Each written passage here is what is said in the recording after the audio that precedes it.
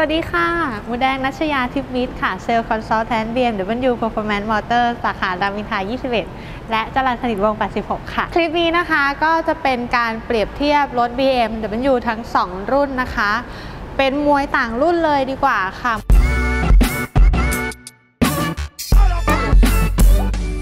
มูแดงเอาเป็น The BMW The Fight นะคะ ก็ใช้เป็นรุ่น 530 EM Sport ค่ะ เลขตัวถังรหัสตัวถังนะคะ G30 และ BMW The 3นะคะ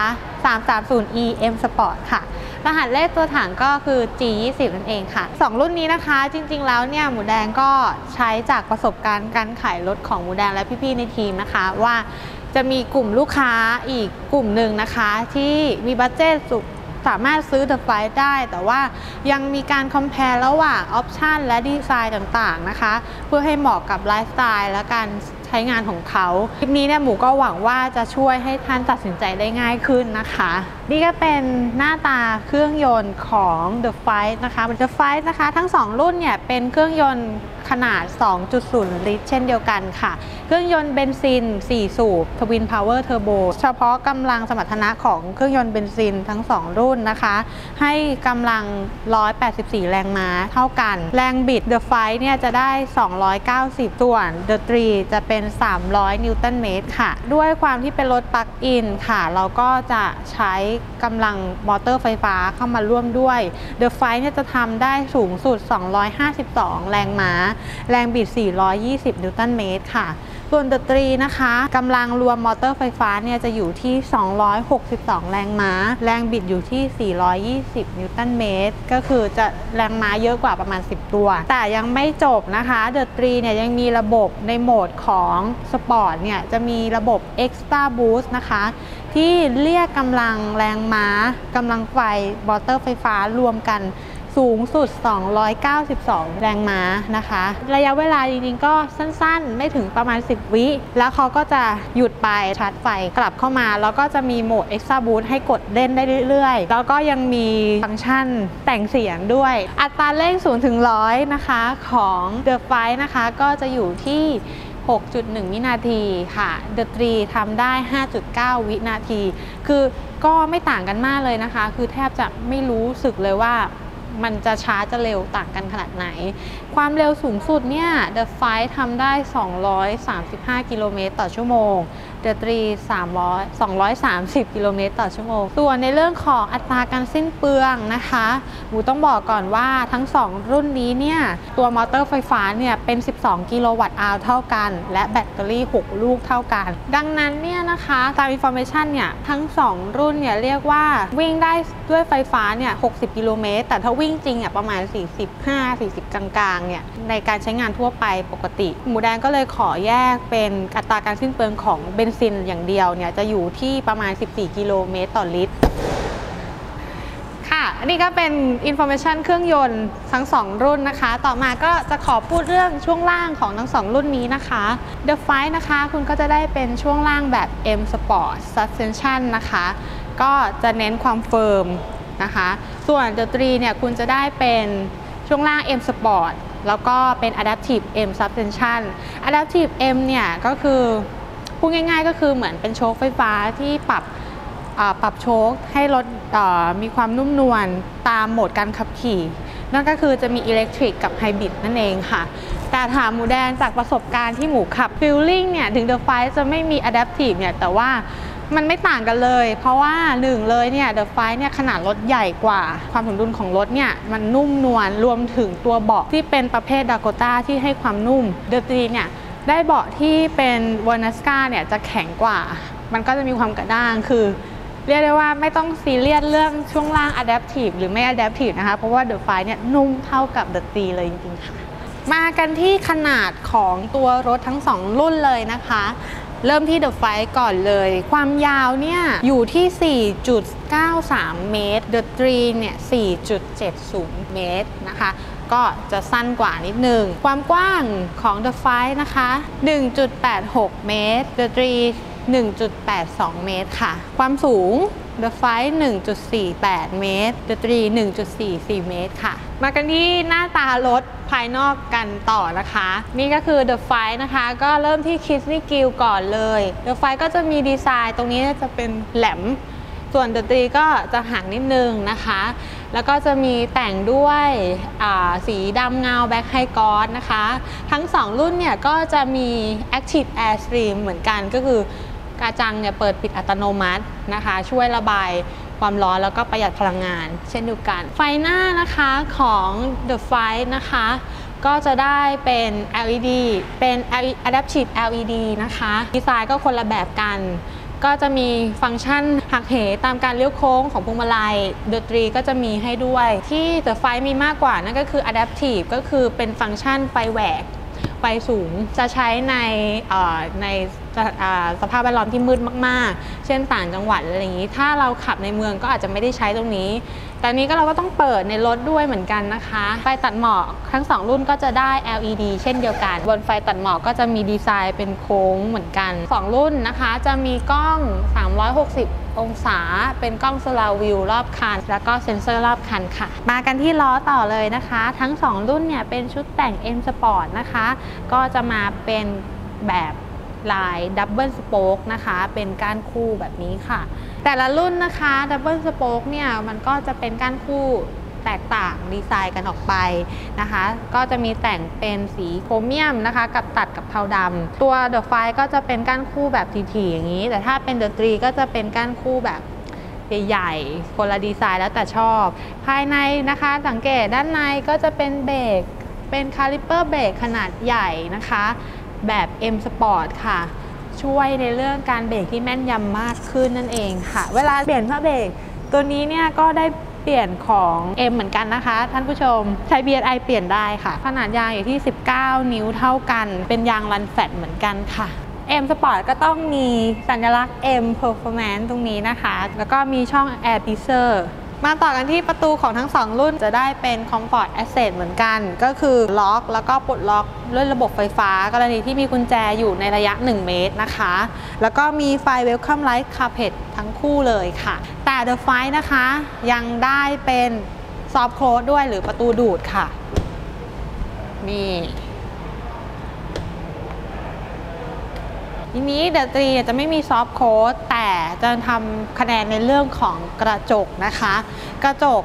ทั้ง 3 บานหน้าของด e ตรีนะคะ คุณจะได้เป็น acoustic glass นะคะ เป็นสเปคเดียวกันเดอะเซเว่นเลยค่ะเดอะเซเว่นเนี่ยเขาจะได้รอบคัน แต่ The 3 เนี่ยจะได้ 3 บานหน้า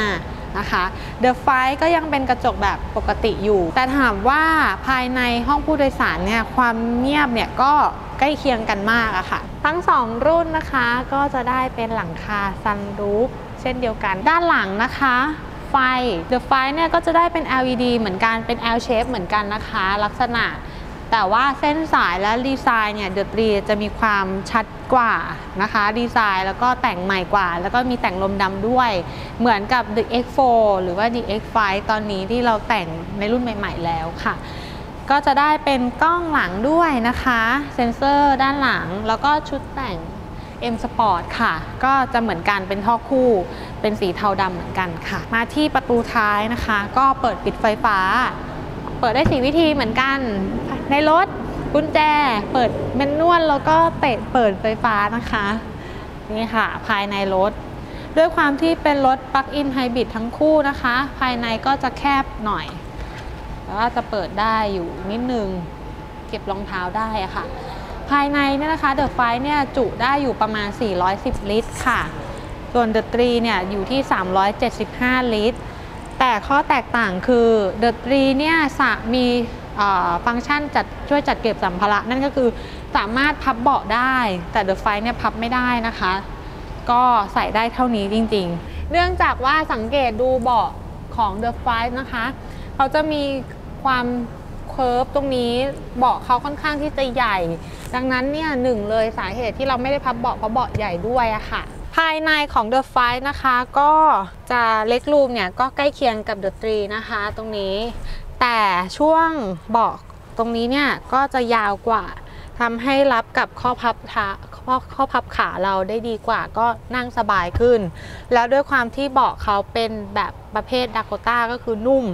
ดังนั้นเนี่ยทำให้ คะแนนการภายใน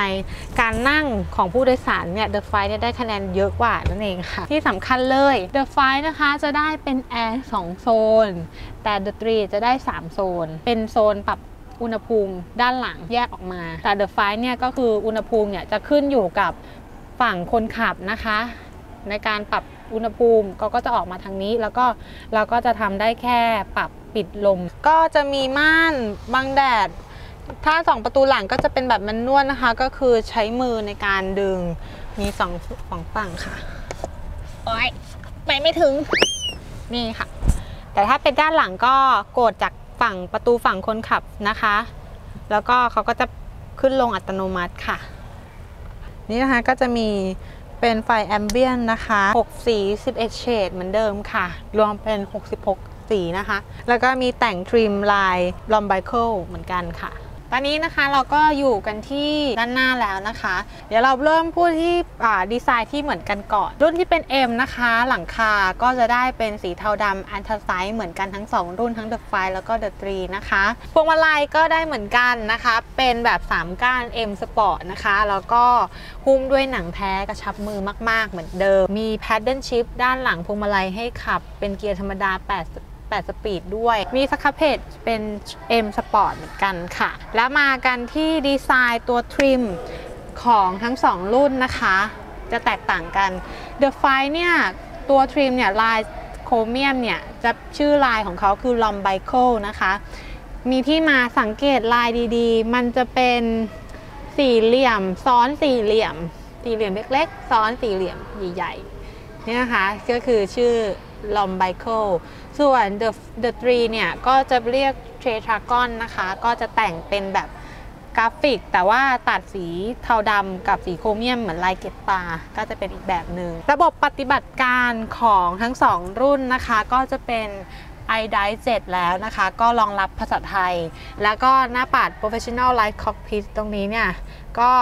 เป็นแบบ ID7 แล้วนะคะ หน้าตาเหมือนกัน ใช้งานเหมือนกัน มี Heads Up Display เหมือนกันนะคะ Heads Up Display ของระบบ ID7 เนี่ยดีอย่างหนึ่งก็คือ ก็จะมีแจ้งความเร็วรถที่ขับอยู่ณเวลานั้น Navigation คือของเขาดูง่ายขึ้นมากเลย ขึ้นสะพานอย่างเงี้ยค่ะ เขาก็จะแจ้งเลยว่าสะพานแค่นี้คือตรงนี้นะ เพราะว่าบางทีบางจุดในประเทศไทย ขึ้นทางด่วนนี่มันมีหลายสะพานใช่ไหมคะ แต่เนี่ยคือดีมาก แล้วก็มีพวกแจ้งเตือนนะคะ ในในโหมดการแจ้งเตือนของดนตรีอันนั้นเดี๋ยวว่ากันอีกทีหนึ่งค่ะ ขนาดหน้าจอ iDrive นะคะ ทั้ง 2 รุ่นเลยเนี่ย ก็ขนาดเท่ากันค่ะ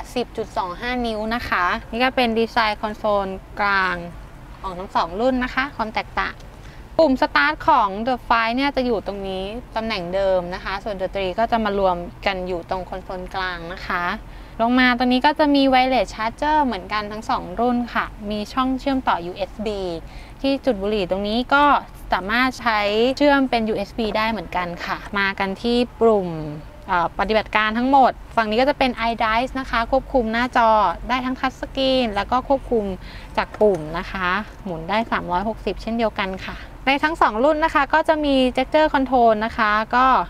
เพิ่มเสียงลดเสียงเหมือนเดิมค่ะ รถไม่ได้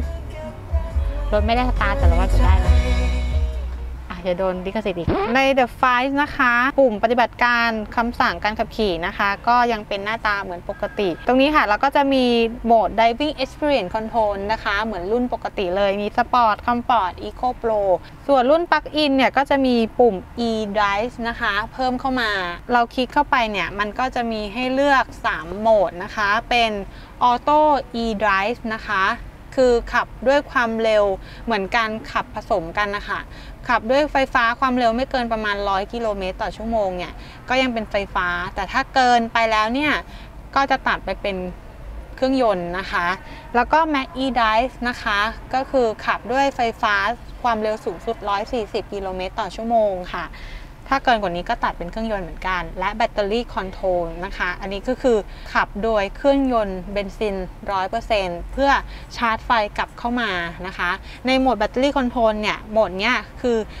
เปอร์เซ็นต์การชาร์จไฟเนี่ยจะจะได้เยอะกว่า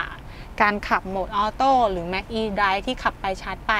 ทั้ง 3 รุ่นเนี่ยก็สามารถขับไปชาร์จไปได้จากการปล่อยคันเร่งและการเหยียบเบรกอย่างเงี้ยนะคะ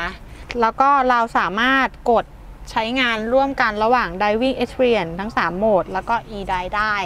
แต่ก็มันก็จะมีความยุ่งยากนิดนึงมันมีทั้งข้อดีข้อเสียค่ะ คือถ้าบางทีเรากด Auto e-drive แล้วเราไปกดตัวโหมดสปอร์ตนี้ย บางทีเขาก็จะไม่เข้าออโต้ให้เขาก็จะเข้าเป็นเครื่องยนต์ล้วนให้เลย แต่เดี๋ยวเราจะมาดูเดตรีกันนะคะว่าโหมดของเขาเนี่ยมีการปรับเปลี่ยนเทคโนโลยียังไงบ้างค่ะ The 3นะคะ ดีไซน์ก็จะแตกต่างจาก The 5นะคะ ตรงที่ The 3จะไม่มีปุ่ม e-drive แล้วนะคะ แต่เราจะเอาโหมด Auto e-drive Mac e-drive และ Battery Control เนี่ยมากระจายและแมชกับ Diving Experience นะคะสังเกต อย่างตัวนี้ก็คือเป็นโหมด Battery Control ค่ะ เราสามารถกดแยกได้เลย โดยการกดตรงนี้ก็จะเลือกการขับขี่แบบเครื่องยนต์เบนซินล้วน แล้วก็ชาร์จไฟกลับเข้ามานะคะ ต่อมาด้านล่างนะคะ เราก็เริ่มที่สปอร์ต สปอร์ตเนี่ยถ้าเรากดเนี่ยก็จะเป็นโหมด ใช้เครื่องยนต์ล้วนเหมือนกัน จะไม่ได้ใช้ไฟฟ้า เพราะว่าในโหมดสปอร์ตเนี่ยเราจะมีโหมด Extra Boost อย่างที่หมูบอกนะคะ ที่เรียกแรงม้าสูงสุด 292 แรงม้ามาให้เล่นกันในช่วงเวลาสั้นๆด้วยนะคะ ต่อมาปุ่ม Comfort และ Eco Pro เราก็เอามา Adapt รวมกับ eDrive เป็น Hybrid นะคะ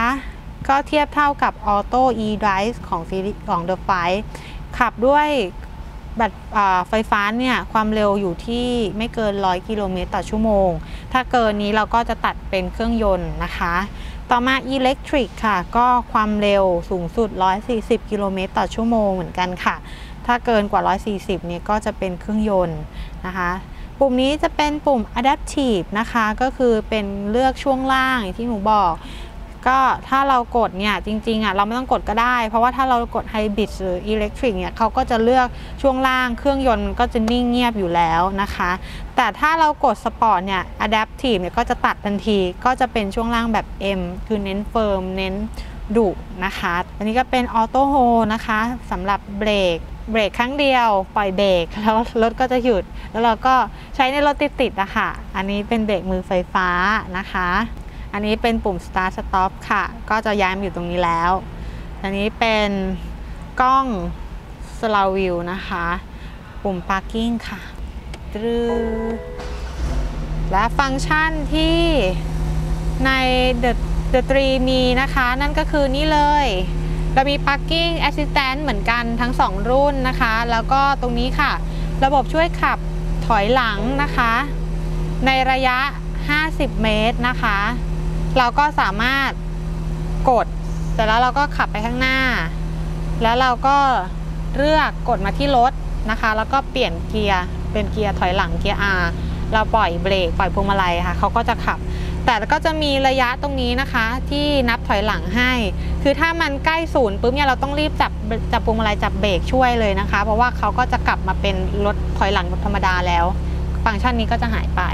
ระบบที่มีแค่ในเดอะตรีนะคะ นั่นก็คือปุ่มนี้เลยสังเกต ก่อนหน้านี้จะมีเป็นรุ่น DX4 รุ่นนำเข้านะคะ ที่มีปุ่มนี้ นั่นก็คือ Intelligent Safety ก็จะช่วยมีระบบรักษา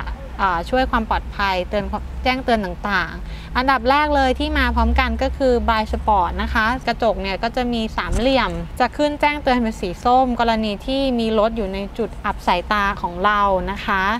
2. เป็นระบบแจ้งเตือนขณะเปลี่ยนเลนไม่เปิดไฟเลี้ยวนะก็จะมีการดึงพวงมาลัยกลับมาให้เรา ก็อันนี้ถ้าหากว่าท่านใดที่ไม่เคยใช้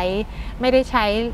ระบบนี้มาก่อนเนี่ยก็อาจจะต้องปรับตัวนิดนึง แต่เราสามารถกดปิดได้นะคะ ไม่ต้องห่วง มันไม่ได้ดึงมา 100%นะคะ ไม่ได้ดึงทุกครั้งจะขึ้นอยู่กับหลาย ๆ ปัจจัย ยกตัวอย่างเช่น 1 ความเร็วต่ำกว่า 70-80 กิโลเมตรต่อชั่วโมงเขาก็จะไม่ดึงกลับมาให้ 2. เราขับรถย้อนแสงแสงจากพระอาทิตย์อะค่ะทำให้รถมันข้างหน้าเนี่ยค่อนข้างที่จะสว่างเกินเซ็นเซอร์ไม่ทำงาน อันนี้ก็จะไม่ดึงให้นะคะ ดังนั้นก็ไม่ได้ร้อยเปอร์เซ็นต์นะคะที่จะดึงให้ตลอด แล้วก็มีระบบช่วยแจ้งเตือนนะคะ จะขึ้นที่ Heads Up Display ค่ะ กรณีที่เราขับด้วยความเร็ว 70-80 เนี่ย แล้วเราใกล้กับคันข้างหน้ามากเกินไป ก็จะขึ้นแจ้งเตือนให้เป็นสีแดงเลย ถ้าขับด้วยความเร็วต่ำๆประมาณ 20นี่เงี้ยค่ะ ถอยจอดถอยหลังหรือเดินเดินหน้าเนี่ยแล้วมีคนเดินมีรถสวนอย่างเงี้ยรถก็จะช่วยเบรกให้นั่นเองค่ะ ก็เป็นระบบ ที่เพิ่มเข้ามาใน The 3คันนี้นะคะ เป็นไงบ้างคะ หลังจากที่ดูทั้ง 2 รุ่นไปแล้ว พอจะตัดสินใจได้ไหมเอ่ยว่า รุ่นไหนเหมาะกับไลฟ์สไตล์ของท่านมากที่สุดค่ะ ถ้าตัดสินใจได้แล้ว หรืออยากจะสอบถามเพิ่มเติมก็ติดต่อหมูแดงได้ที่เบอร์ 0967516643 นะคะ และติดตามคลิป ครั้งหน้านะคะ ว่าหมูแดงจะรีวิวรถ BMW รุ่นไหนที่วงออโต้คาร์ค่ะ สวัสดีค่ะ